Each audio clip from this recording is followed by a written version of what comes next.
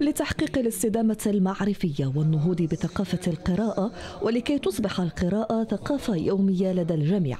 نظمت الأكاديمية الجهوية للتربية والتكوين بالداخل وادي الذهب لقاء جهويا لتفعيل خارطة الطريق وتنزيلا لأهدافها الرامية إلى اكتساب الكفايات والتعلمات الأساس والتحكم في اللغات بشكل عام واللغتين العربية والأمازيغية على وجه الخصوص.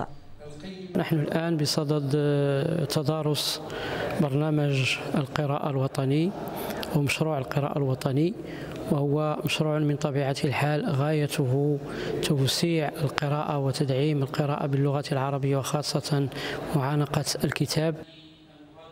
هذا اللقاء التربوي يندرج في إطار الجهود المبذولة من طرف الأكاديمية الجهوية للتربية والتكوين بدخل وادي الذهب للتحسيس بأهمية المشروع الوطني للقراءة وتسليط الضوء على جوانبه التنظيمية والتقنية. نحن هذا اليوم بأكاديمية الداخلة والذهب آه، ننظم لقاء آه، جهوي من أجل تقاسم مخرجات هذه الورشة ومن أجل آه، يعني تحفيز السيدات والسادة منسقات الأندية وأيضا المديري ومديرات المؤسسة على الانخراط في هذا المشروع.